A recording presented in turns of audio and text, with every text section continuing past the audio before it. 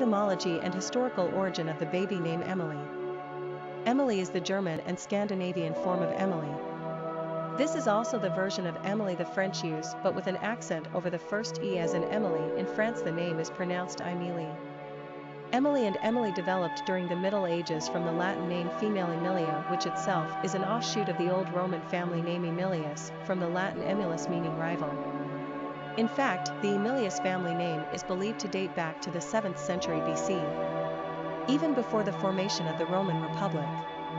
Like the gens, family, Fabia, Claudia and Valeria, the gens Emilia was not only patrician, i.e., noble aristocratic, but they were among the most important and respected families of the upper classes. In other words, the Emilii were hard to rival. Folk etymology holds that the first ancestor to the Emilius family, Mamercus, son of the second king of Rome, received the name Emilius as a result of the unrivaled persuasiveness of his speech. In any case, the female names Emily and Emily comes from one of the oldest known family names in Western civilization. Although Amelia, Emily and Emily date back to medieval Europe, they were never particular favorites for girls, probably because there was no important saint associated with them. It really wasn't until modern times when the Emily names finally enjoyed a significant revival in the 19th century. They remain hugely popular today in the 21st century throughout the Western world. Emily was the number one most commonly used baby girl's name in the US. From 1996 to 2007, today she's ranked number 6. The French, German and Scandinavian form of Emily slash Emily is not as common as Emily in America, but it's the third most popular girl's name in Norway and ranked very highly in the nations of Germany, Denmark, Belgium and France. Personality of the girl name Emilie. The number 8 personality has everything to do with power, wealth and abundance. Somehow this personality has been blessed on the material plane, but their authoritative and problem-solving traits provide evidence that their good fortunes are not just the luck of the lottery. They are well earned. This is the personality of CEOs and high-ranking military personnel.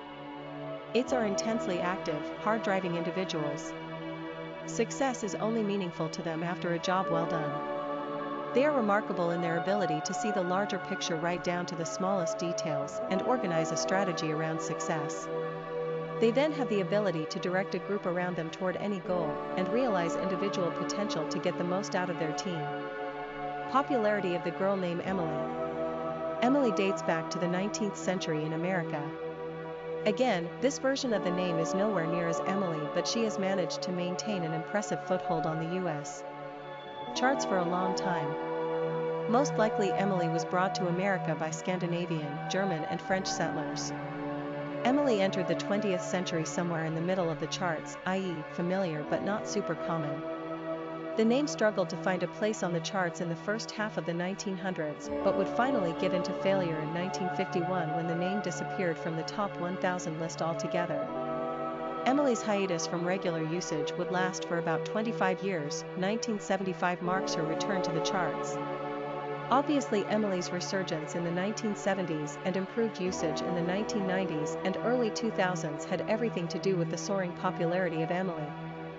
Emily represents a new and fresh way to spell this old 19th century damsel, it could be argued that Emily is more Euro and Cosmo compared to the frumpy Tian Biscuits Emily, and it's definitely more sophisticated than the Americanized respellings of Emily, Emily and Emily. Quick facts on Emilie. Gender, girl. Origin, French. Number of syllables, 4.